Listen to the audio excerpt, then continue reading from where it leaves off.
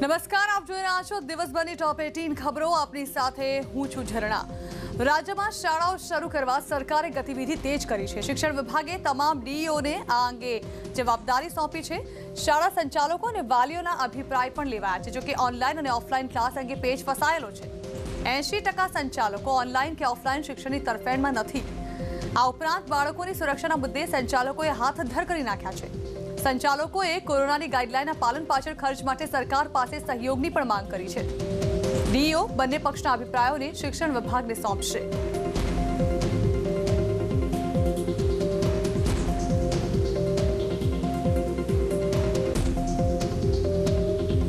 અમે એવી વિનંતી કરી છે કે ચાર તબક્કાઓમાં શાળા ખુલવી જોઈએ.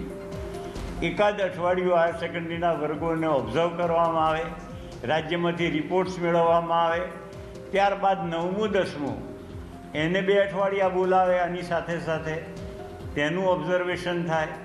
અને છેલ્લે ધોરણ છથી આઠના વર્ગો, એટલે ઓલમોસ્ટ ચોથા અઠવાડિયા પછી જો શરૂ કરવામાં આવે, તો એ વધારે હિતકારી રહેશે અને એના પરિણામો ખૂબ સારા હશે. રાજ્ય સરકારની ગાઈડલાઈન જે હતી કે આપણે શાળાઓ શરૂ કરવા માટે કઈ દિશામાં જવું જોઈએ અને એના માટે તમામ ડીઓને જે સૂચના આપવામાં આવી હતી કે આપણે સંચાલક મંડળ, વાલી પ્રતિનિધિ મંડળ, આચાર્યશ્રીઓ એવી જિલ્લામાં દરેક વર્ગના પ્રતિનિધિ રૂપે એક બેઠક કરી લેવી અને બધા પાસે પોતે વ્યૂ લેવા અને વ્યૂમાં શું આવે છે એનો રિપોર્ટ કરવાનો અને એ પ્રમાણે આગળ વધવાનું થાય છે. એટલે અમે એની બેઠક કરી લીધી છે અને એ બેઠક મુજબ જે કોઈ વ્યૂ આવ્યા છે, એનો રિપોર્ટ તૈયાર કરી અને અમે સરકારશ્રીને જમા કરાવશું. નેતાઓ દ્વારા કોરોનાની ગાઈડલાઈનના ભંગનો વધુ એક કિસ્સો સામે આવ્યો છે. સાંસદ દીપસિંહ રાઠોડે ગરબાનો એક વીડિયો શેર કર્યો છે, જેમાં લોકો નિયમોના ધજાગરા ઉડાવીને ગરબા કરી રહ્યા છે. નવરાત્રિમાં ગરબા પર પ્રતિબંધ હતો, જો કે સાંસદને કદાચ તેનાથી કોઈ ફરક નથી પડતો. દીપસિંહે શેર કરેલો વીડિયો ચોવીસમી ઓક્ટોબરનો હોવાનું જણાવાય છે, જેમાં લોકો સામાન્ય સંજોગો હોય તેમ સોશિયલ ડિસ્ટન્સ વિના જ ગરબા રમી રહ્યા છે. તો ચૂંટણી પ્રચારમાં એકવાર ફરી કોરોનાના નિયમો અને ગાઈડલાઇન્સ ભૂલાયા. બોટાદના ગઢડામાં ભાજપની બાઇક રેલીમાં કાર્યકરો હેલ્મેટ વગર જ નજરે પડ્યા. રેલીમાં જોડાયેલો એક પણ કાર્યકર હેલ્મેટમાં ન દેખાયો. કાર્યકરોએ જાણે કે માસ્કને જ રસ્તા પર નીકળવાનો પરવાનો માની લીધો હતો. હેલ્મેટ વિના સામાન્ય લોકોને દંડતી ટ્રાફિક પોલીસ અહીં ક્યાંય નજરે ન પડી. સમાચારો મળી રહ્યા છે. વડોદરાથી વડોદરામાં ડેપ્યુટી સીએમ પર ફેંકાયું છે ચપ્પલ. જી હા, નીતિન પટેલ પર ચપ્પલ ફેંકવામાં આવ્યું છે. નીતિન પટેલ વડોદરાના કરજણમાં ચૂંટણી પ્રચારમાં હતા અને પ્રચાર દરમિયાન કોઈક દ્વારા તેમના પર ચપ્પલ ફેંકી તેમનો વિરોધ કરવામાં આવ્યો. આપણે જણાવી દઈએ કે પેટા ચૂંટણીને લઈને મુખ્યમંત્રી તેમજ નાયબ મુખ્યમંત્રી ઠેર ઠેર પ્રચારના પ્રચાર સભામાં જોડાયેલા છે અને તે સમયે જ નીતિન પટેલ પર ચપ્પલ ફેંકવામાં આવ્યું. તસવીરોમાં કેદ થઈ ગયું છે. જ્યાં નીતિન પટેલ મીડિયા સાથે વાતચીત કરી રહ્યા હતા અને તે સમયે તેમના પર કોઈએ દૂરથી ચપ્પલનો ઘા કર્યો, જો કે આ ચપ્પલ માઇક પર અથડાયું હતું અને તેઓનો બચાવ થયો હતો. જો કે આ ચપ્પલ કોના દ્વારા ફેંકવામાં આવ્યું, તે વિશે હજુ કોઈ જાણકારી સામે નથી આવી, પરંતુ તેમનો આ વિરોધ કરવાની કોઈક રીત હશે તેવું માની લેવાયું છે. જ્યારે તેઓ કરજણમાં ચૂંટણી પ્રચાર માટે પહોંચ્યા હતા. જે સમયે તેઓ મીડિયા સાથે વાતચીત કરી રહ્યા હતા, તે સમયે તેમના પર ચપ્પલ ફેંકી તેમનો વિરોધ કરવામાં આવ્યો. એકાએક બનેલી આ ઘટનાથી તેમની આસપાસ ઉભેલા કાર્યકરો પણ થોડા સમય માટે હેપતાઈ ગયા હતા. સૌ કોઈ ચોંકી ઉઠ્યા હતા કે આખરે નાયબ મુખ્યમંત્રીનો વિરોધ આ રીતે કોણ કરી રહ્યું છે? કોણ છે જે ચપ્પલ ફેંકી નાયબ મુખ્યમંત્રીને અહીંથી ડરાવવા માંગે છે? મીડિયા સાથેની વાતચીત દરમિયાન જ કોઈના દ્વારા ચપ્પલ ફેંકવામાં આવ્યું. એવું પણ બની શકે કે સૌ કોઈનું ધ્યાન ખેંચવા માટે અને આ ઘટના કેમેરામાં કેદ થઈ જાય તે માટે જ એ સમયે તેમના પર ચપ્પલ ફેંકવામાં આવ્યું, જ્યારે તેઓ મીડિયા સાથેની વાતચીતમાં વ્યસ્ત હતા. જેના કારણે મીડિયાના કેમેરામાં આ દ્રશ્યો કેદ થઈ જાય.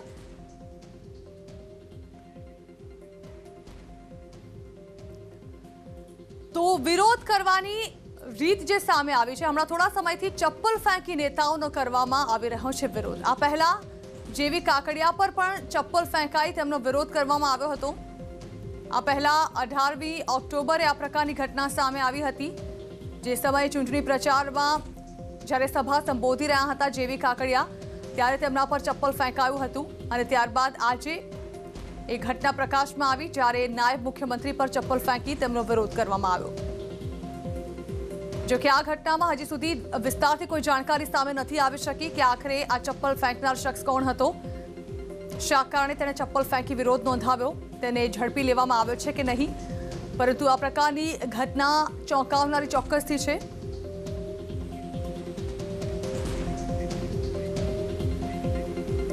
કપરાડામાં ચૂંટણી સભાને સંબોધતા મુખ્યમંત્રી વિજય રૂપાણીએ મોટા સંકેત આપ્યા. તેમણે કહ્યું કે ચૂંટણી બાદ પણ કોંગ્રેસ તૂટવાની છે. કેમ કે કોંગ્રેસમાં સંનિષ્ઠ કાર્યકરોની કદર નથી થતી. તો કપરાડામાં મુખ્યમંત્રી વિજય રૂપાણીની હાજરીમાં યોજાયેલી ચૂંટણી સભામાં મંત્રી રમણ પાટકરે એક મોટો ખુલાસો કરી દીધો. પાટકરે સ્ટેજ પરથી કહ્યું કે કોંગ્રેસના ધારાસભ્યને ઓછું ફંડ અપાય છે. આ માટે પાટકરે ભાજપના ઉમેદવાર જીતુ ચૌધરીનું ઉદાહરણ આપતા કહ્યું કે જીતુભાઈ જ્યારે કોંગ્રેસમાં હતા ત્યારે તેમને ઓછું ફંડ મળતું હતું. જેના કારણે તેઓ જનતાના કામ નહોતા કરી શકતા. પાટકરે તો ત્યાં સુધી કહ્યું કે બાકીના પૈસા અમારે સંગઠનમાં આપવા પડે છે. આદિવાસીમાં જઈએ છીએ ત્યારે અમે કહીએ છીએ કે જીતુભાઈને ભૂતકાળની અંદર કામ કરવાની ઘણી વખતતા પડી. જીતુભાઈ કોંગ્રેસના અંદાજ હતા. અને અમે જ્યારે ત્યાંથી પૈસા ફાળવીએ ત્યારે થોડા ઓછા પૈસા આપીએ અને બાકીના સંગઠનને અમારે આપવા પડે. અને એટલા માટે જીતુભાઈ જ્યાં પણ વચન આપી આવે તો ત્યાં એ કામ ન થતું હતું. તો મુખ્યમંત્રી આ અંગે શું કહ્યું હતું તે પર સાંભળીએ. દેશનું સંખ્યાબળ ઘટતું જાય છે. હજુ પણ કોંગ્રેસમાં એટલો અસંતોષ પડેલો છે. આ ચૂંટણી પછી પણ કોંગ્રેસ તૂટવાની છે. ત્યારે કોંગ્રેસના લોકો લુલ્લો બચાવ કરવા. અરે ગઈકાલ સુધી તમારે ત્યાં જે માણસ સેવા કરતો હતો, એને આજે તમે આ રીતે ગાળો આપો છો? તમારે ત્યાં સંનિષ્ઠ માણસની કદર નથી. અને એટલા માટે સંનિષ્ઠ માણસો કોંગ્રેસ છોડતા જાય છે. તો ચૂંટણી સભા બાદ એવી અટકળો હતી કે રમણ પાટકર પોતાના નિવેદન અંગે સ્પષ્ટતા કરશે કે પછી તેને પરત ખેંચશે. જો કે આમ ન થયું, તેની જગ્યાએ પાટકરે વધુ એક મોટી સ્પષ્ટતા કરી. તેમણે કહ્યું કે સાહીઠ ફંડ ભાજપના આગેવાનોને અપાય છે, કેમ કે ભાજપના આગેવાનોને અમારે સાચવવા પડે છે. પાટકરે કહ્યું કે ભાજપના ધારાસભ્યના વિસ્તાર માટે સો ટકા રકમ અપાય છે. જ્યારે કોંગ્રેસના ધારાસભ્યને ઓછું ફંડ મળે છે. સ્પષ્ટ છે ને, ભાજપના ધારાસભ્ય હોય, ત્યાં સો ટકા રકમ વપરાય છે. અને જ્યાં ભાજપના ધારાસભ્ય હોય, કોંગ્રેસના ધારાસભ્ય હોય, કે મારા પાર્ટીના આગેવાન હોય, એને પણ અમારે હાચવવું પડે. એટલે સાઠ ટકા અમે પાર્ટીના માણસોને આપીએ. ભારતીય જનતા પાર્ટીના આગેવાનો દ્વારા વિકાસના કામો થાય. અને ચાલીસ ટકા અહીંયા કોંગ્રેસના છે એના દ્વારા થાય. એના એના કારણે એમણે આપેલા વચનો પ્રમાણે કામ ન થતું હતું. તો પાટકરના નિવેદન બાદ કોંગ્રેસ સરકાર પર ધારાસભ્યો સાથે ભેદભાવ કરવાનો આક્ષેપ કર્યો. સાથે જ મુખ્યમંત્રીના રાજીનામાની માંગ કરી. શ્રી પોતે ભાજપાનો જે કદરૂપો ચહેરો છે ગ્રામ્ય વિરોધી ચહેરો છે આદિવાસી વિરોધી ચહેરો છે. એને ખુલ્લો પાડી દીધો છે. ત્યારે કોંગ્રેસ પક્ષ તરીકે અમે માંગ કરીએ છીએ કે મુખ્યમંત્રી શ્રી સંવિધાનના આધારે શપથ લીધા છે, જેમાં ભેદભાવ વિના તેમને કામ કરવાનું છે. પણ આ મંત્રીશ્રીએ જે વાત ઉજાગર કરી છે, એના આધારે મુખ્યમંત્રી મુખ્યમંત્રીશ્રી જવાબદારી સ્વીકારે. સંવિધાનના ઉલ્લંઘન જે શપથ લીધા હતા, એનું ઉલ્લંઘન કર્યું છે. તાત્કાલિકપણે તેમને આ ઉલ્લંઘન બદલ રાજીનામું આપવું જોઈએ. તો ભાટકરના નિવેદન પર મુખ્યમંત્રીએ પણ સ્પષ્ટતા કરી. તેમનું કહેવું છે કે કોંગ્રેસના ધારાસભ્યોને વિકાસમાં રસ નથી હોતો. વિપક્ષ વિરોધમાં જ વ્યસ્ત રહે છે. રૂપાણીએ એમ પણ કહ્યું કે જીતુ ચૌધરી હવે અડધી રાત્રે મંત્રીઓ પાસે કામ કરાવી શકશે. રમણભાઈનો મતલબ એ હતો કે વિરોધ પક્ષ એટલે કોંગ્રેસના ધારાસભ્યો ને વિકાસમાં રસ નથી હોતો. કોંગ્રેસ પાર્ટીના વિરોધના નાટકોના કાર્યક્રમોમાંથી જ નવરા નથી થતા. પ્રજાના વિકાસના કામમાં ધ્યાન આપી શકાતું નથી. હવે એને કારણે ભૂતકાળમાં કામો નથી થયા. હવે જીતુભાઈ ભાજપના ધારાસભ્ય બનશે, અડધી રાત્રે મંત્રીઓ પાસે ભાજપના જઈને કામ કરાવશે, તો અત્યારે હવે જીતુભાઈ ખૂબ વધુ સારા કામ કરી શકશે. આ વાત કહેવાનો સુર. સૌપ્રથમ સી પ્લેન અમદાવાદ આવી પહોંચ્યું છે. સી પ્લેને રવિવારે સવારે માલદીવ્સના માલેથી ટેક ઓફ કર્યું અને ગોવાથી આજે કેવડિયા પહોંચ્યું હતું. કેવડિયામાં ટૂંકા રોકાણ બાદ પ્લેન અમદાવાદમાં લેન્ડ થયું. કેન્દ્ર સરકારની ઉડાન યોજના અંતર્ગત સાબરમતી રિવરફ્રન્ટથી સ્ટેચ્યુ ઓફ યુનિટી સ્થળની પસંદગી કરવામાં આવી છે. એકત્રીસમીએ પ્રધાનમંત્રી નરેન્દ્ર મોદી કેવડિયાથી સી પ્લેનમાં બેસી અમદાવાદના સાબરમતી રિવરફ્રન્ટ આવશે. તેઓ સાબરમતી રિવરફ્રન્ટથી કેવડિયાના સ્ટેચ્યુ ઓફ યુનિટી વચ્ચે એકત્રીસમી ઓક્ટોબરે સી પ્લેનની સેવા શરૂ કરાવશે. હાલ સી પ્લેનનું ટ્રાયલ રન થઈ રહ્યું છે.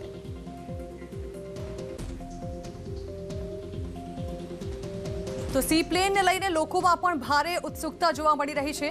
સ્પાઇસ કરશે સી પ્લેનનું સંચાલન છ મહિના સુધી વિદેશી પાયલોટ તાલીમ આપશે. સાબરમતી રિવરફ્રન્ટમાં તેને લઈને એકસો બે ટનની આંતરરાષ્ટ્રીય સ્તરની આઠ જેટી પણ બનાવી લેવામાં આવી છે. પંદર હજાર કિલોની એન્કર ફ્લોટિંગ બ્રિજ તૈયાર કરી દેવામાં આવ્યો છે. જેટીમાં એક જેટી નવ મીટર પહોળી અને ચોવીસ મીટર લાંબી હશે, જેને આંતરરાષ્ટ્રીય સ્તર જેવી તૈયાર કરવામાં આવી છે. રિવરફ્રન્ટ પર બે માળનું વોટર એરોડ્રોમ પણ તૈયાર થઈ ચૂક્યું છે. દિશા જાણવા માટે અહીં એરબેગ પણ લગાવી દેવાય છે તડામાર તૈયારીઓ, જેને આખરી ઓપ અપાઈ રહ્યો છે. અહીં ટિકિટ વિન્ડો અને વેઇટિંગ રૂમની વ્યવસ્થા પણ કરવામાં આવી છે. સીપ્લેનનો નજારો જે છે તે આપણને તસવીરોમાં જોઈ શકો છો.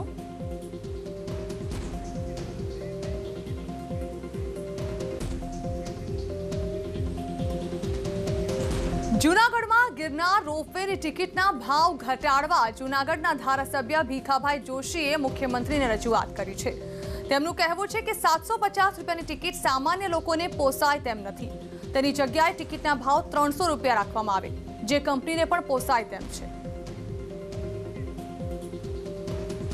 આગળ રોપવે ના દોઢસો રૂપિયા ભાવ છે.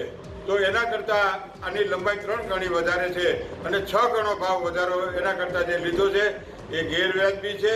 અને સરકારે મુખ્યમંત્રીશ્રીએ, અમે મુખ્યમંત્રીશ્રીને પણ પત્ર લખ્યો છે અને કીધું છે કે આમાં પોતે દરમિયાનગીરી કરી અને ત્રણસો રૂપિયા જેવો ભાવ રહે તો મધ્યમ વર્ગ અને ગરીબ માણસોને પોસાઈ શકશે અને કંપનીને પણ પોસાશે.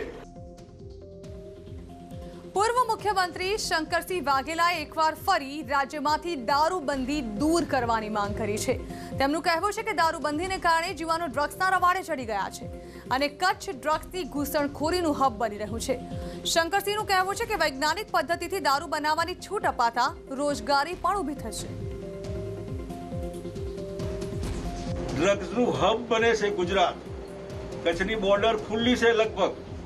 એટલા માટે કે ડ્રગ્સનું આવવાનું મથક કચ્છ બની રહ્યું છે. ટ્રાઇબલના લોકોની ઇન્કમ થાય, ગુજરાતમાં પાંચ લાખની આવક હોય, વધુમાં વધુ. એના ગ્રેજ્યુએટ છોકરા છોકરીઓને આની ડિસ્ટ્રીના લાયસન્સ આપે, સરકાર સુપરવિઝન કરે મોલાસીસમાંથી બનાવે, ચોખામાંથી બનાવે, બટેટામાંથી બનાવે જેમાંથી બનતું હોય બનાવે. એ બનાવીને પ્રોપર રીતે એને એનું બ્રાન્ડિંગ થાય. જેમ ડેરીનું જે કે અમૂલની બ્રાન્ડ બનતી હોય, સાત ફેટનું દૂધ છે, આઠ ફેટનું દૂધ છે, એના ઉપર લખાય કે આ આવું છે, એની કિંમત નક્કી થાય. સરકાર એનું સુપરવિઝન કરે લોન આપે ડિસ્ટ્રી કરવા માટે. બહુ સહેલું છે ઘણા લોકોને આર્થિક સ્થિતિ ઘણી સુધરશે. દારૂબંધીના મુદ્દે શંકરસિંહે ભાજપના પ્રદેશ અધ્યક્ષ સી આર પાટીલનું નામ લીધા વિના તેમના પર કટાક્ષ કર્યો. તેમણે કહ્યું કે દારૂની ખેપનું પાયલોટિંગ કરનાર વ્યક્તિને ભાજપ સમર્થન આપે છે. ભાજપને કોઈ શરમ નથી. ગઈકાલે જેના ઉપર આવા કેસ થયેલા છે, દારૂની પાયલોટિંગ, ગાડીઓની પાયલોટિંગ કરેલું ને બેંકના ફ્રોડને આવા કેસીસ આજે ઊભા છે, ભારતીય જનતા પાર્ટીને આવી શરમ નથી કે આવી વાત કરવાની. કોંગ્રેસનું ખરાબ દેખાડવા માટે એ દારૂની વાતો કરે, બેંગ્લોરમાં તમે છોરો ઉડતા તો એ જ છે બધું. કોંગ્રેસ એમના પર આક્ષેપ કરે તો આમથી આમ જ છે બધું. આવું મોરબીથી ભાજપના ઉમેદવાર બ્રિજેશ મેરજાને એક મતદારે જાહેરમાં ઠપકો આપ્યો. મેરજા મતદારોને રીઝવવા પહોંચ્યા હતા જો કે મતદારે મેરજાને આક્ષેપો વચ્ચે ઘેરી લીધા. રોટરી નગરના એક સ્થાનિકે મેરજાને ઠપકો આપતા કહ્યું કે કામ પડે ત્યારે તેઓ ફોન નથી ઉપાડતા. આ ઉપરાંત કેનાલમાં પાણી માટે રજૂઆત ન કરવાનો મેરજા પર આક્ષેપ કરાયો. જ્યારે અમે આવ્યો ત્યારે તમે એવું કીધું. લખી નાખો લખી નાખો. અમે તમને લખી નાખો. અમારા ગામની ટકા જમીન કેનાલમાં છે. બરાબર? અમે ચાર વખત તમને લખું તમે એનો કોઈ જવાબ નથી. તમારા જૂના છોકરા આ તમારા જૂના છોકરા અમારી જવાબો નથી માઇનોર બે રહી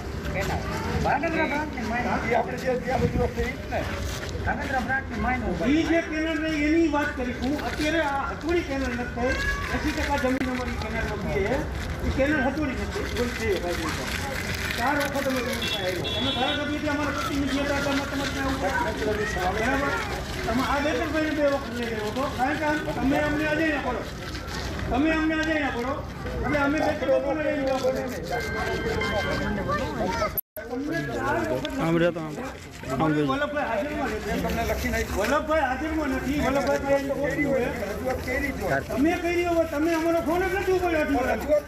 તમે રજૂઆત કરી કે ન કરી અમને નથી ખબર. અમે તમને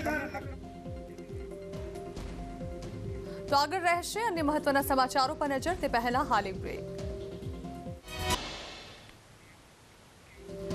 વેલકમ બેક જમ્મુ કાશ્મીરના ભારત સાથે સત્તાવાર જોડાણના તોતેર વર્ષ પૂરા થતા રાજ્યમાં ભાજપે તિરંગા યાત્રા કાઢી. આ દરમિયાન કલમ થ્રી સેવન્ટીને પરત લાવવાનો પ્રયત્ન કરતા રાજકીય પક્ષોનો પણ વિરોધ થયો. છવ્વીસ ઓક્ટોબર ઓગણીસો સુડતાલીસ. એ દિવસ જ્યારે જમ્મુ કાશ્મીરનો ભારતમાં વિલય થયો. મહારાજા હરિસિંહે ભારત સરકાર સાથે આ અંગે સમજૂતી પર હસ્તાક્ષર કરતા ભારતીય સેનાએ પાકિસ્તાન સામે મોરચો સંભાળ્યો. જમ્મુ કાશ્મીરમાં આ દિવસની ઠેર ઠેર ઉજવણી કરાઈ. ભાજપના કાર્યકરોએ જમ્મુના મહારાજ હરિસિંહ પાર્કમાં તિરંગો લહેરાવ્યો. ધ્વજવંદન કર્યું. તિરંગા રેલી યોજી. ભાજપના કાર્યકરોએ પીડીપીના કાર્યાલય પર પણ તિરંગો લહેરાવ્યો. પીડીપીના અધ્યક્ષ અને જમ્મુ કાશ્મીરના પૂર્વ મુખ્યમંત્રી મહેબૂબા મુફ્તીએ તાજેતરમાં જ તિરંગા વિશે અપમાનજનક નિવેદન કરતા તેમના વિરુદ્ધ નારેબાજી પણ કરાઈ. તેમના કાર્યાલય પર આજના દિવસે તિરંગો રહેરાવીને તેમને સંદેશ પણ અપાયો. સ્થાનિકોએ જમ્મુ કાશ્મીરના બંધારણ તેમજ જૂના ધ્વજની પણ હોળી કરી.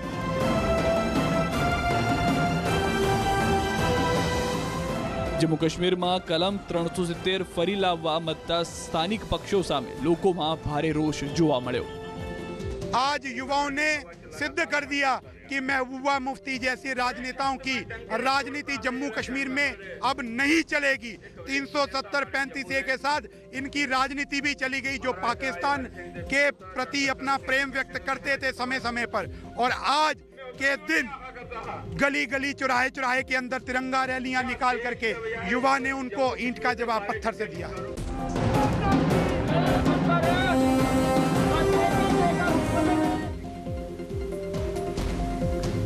સંતાનો માટે એક માતાનો પ્રેમ બિનશરતી હોય છે. આ બાબત પશુ પક્ષીઓ માટે એટલી સાચી છે. વાયરલ થઈ રહેલા એક વિડીયોમાં આ વાત ફરી સાબિત થઈ છે.